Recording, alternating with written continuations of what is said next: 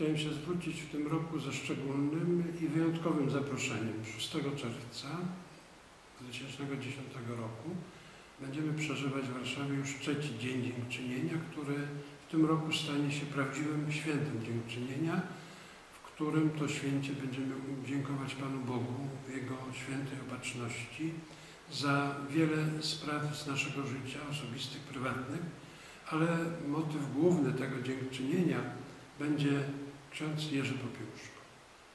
Jego beatyfikacja będzie miała miejsce na placu Piłsudskiego właśnie w Dzień Dziękczynienia 6 czerwca.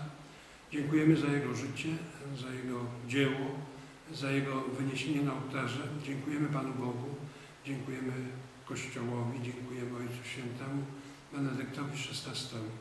To niezwykle ważne wydarzenie i dla budowanej świątyni opatrzności, która w ten sposób jeszcze bardziej stanie się znana na całym świecie i w Polsce, dzięki mediom także.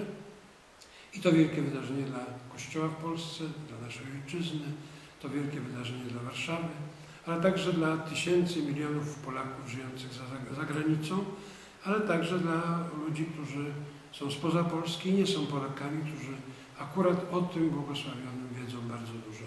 Chciałem już dzisiaj serdecznie zaprosić wszystkich na Plac Piłsudskiego na godzinę 11, 6 czerwca, byśmy razem Panu Bogu dziękowali i razem cieszyli się, prawdziwie się cieszyli beatyfikacją księdza Jerzego